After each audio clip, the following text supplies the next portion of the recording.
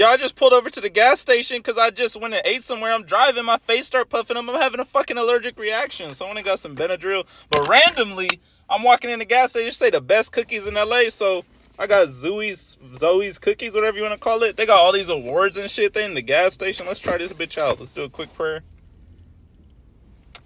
Let's animals and all that. Let a Zooies cookies. Let to the gas station. Let a Benadryl. Oh, thank God. Y'all ate something. My fucking lips started puffing.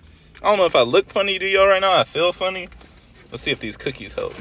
I've been on a cookie search, y'all, because it was National Cookie Day the other day. And I tried to go to like three different spots. All of them are closed. I was like, y'all missing a major fucking bag. So we had Zooies cookies. We got the, put that bitch in the glow. We got the Gimme S'more cookie. Got a fucking marshmallow burnt on top. We got the strawberry cheesecake. Got a strawberry cheesecake on top. And then the classic which they call the gooey. And this is like a top rated cookie. All these bitches are cold. None of them feel fresh. Let's see what's up. All right, nice little pull apart.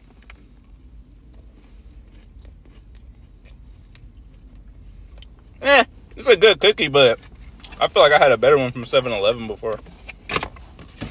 Zooies cool.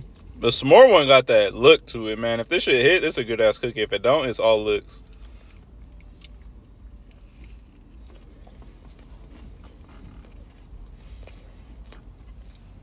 This one's good. The marshmallow is super fluffy. Great bite.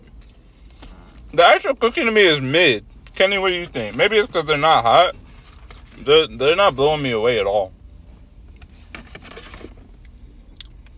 I think it feels warm. You think? Yeah, that's. I'm like, why are they out here serving ice cold cookies? Y'all, this bitch is cold as fuck. All right, strawberry cheesecake. Yeah. The small one is there. The gooey one is there. This shit tastes like Smuckers.